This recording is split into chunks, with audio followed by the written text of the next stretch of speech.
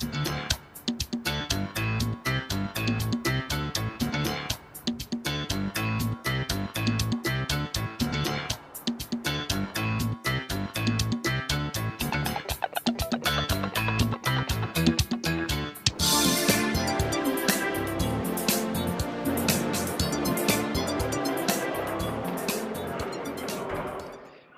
We just took part in the opening ceremony of the EuroSun Conference 2016 in Palma de Mallorca.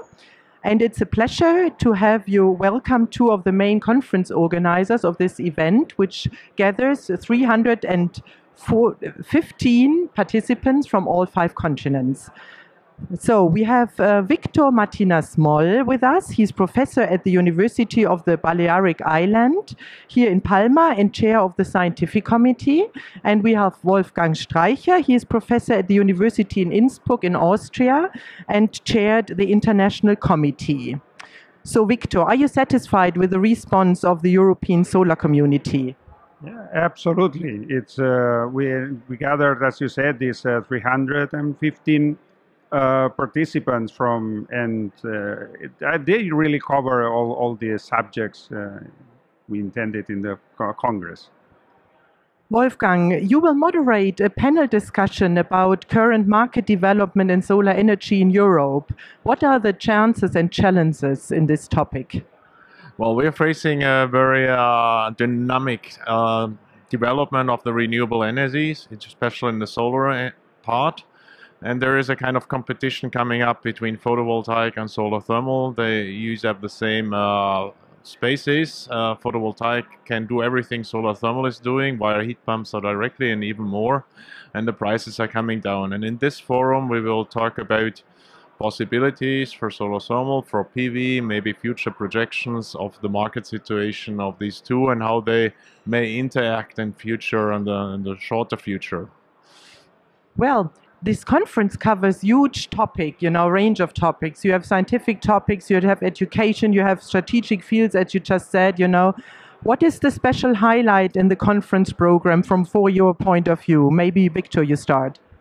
Uh, yeah, well, in fact, uh, we, we have, uh, apart from the, um, the regular oral and poster uh, presentation, we have two, I think, very interesting forums today and tomorrow uh, one about uh, research policies and the other one about uh, market development. And I think that would be also a very good opportunity to, to discuss these important issues.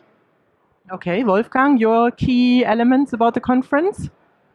Yeah, I mean, the one thing I said already, it's the opening up to more solar systems. So not only having solar thermal or passive solar energy use in, in buildings, but also open it up to, to PV systems. So we will never going to develop in this conference or talk about developments on, on, on PV cells or whatever, but it's the system behind how to use the energy in the building, in the energy system.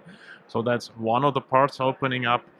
Also, this opens up to heat pump technologies and to others uh, attached to that. So a more broader spectrum looking on the whole systems. Well, and another uh, new topic here in the conference is the educational topic. So as we have more in the markets of, of renewables are more and more growing, not only in Europe, worldwide, more than in Europe in the moment.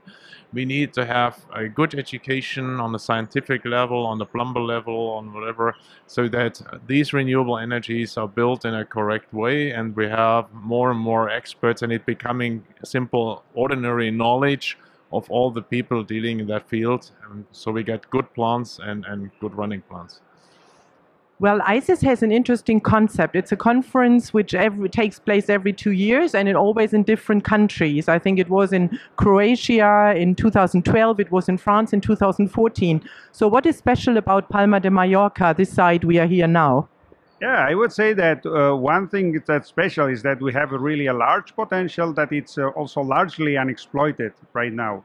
And that mm, may be traced to, to some problems with, with, for example, with land occupation if we want to build large plants.